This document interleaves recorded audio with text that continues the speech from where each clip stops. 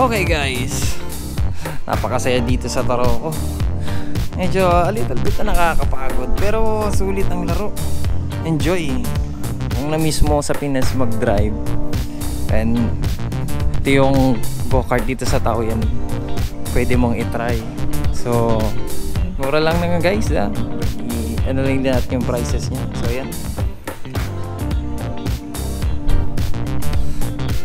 So yun. Uh, sino lang bumisita dito, may lang kayong taxi or bus, check nyo na lang sa Google nyo kung ano yung convenient para sa inyo. So anyway, maraming salamat sa pagbisita sa aking channel.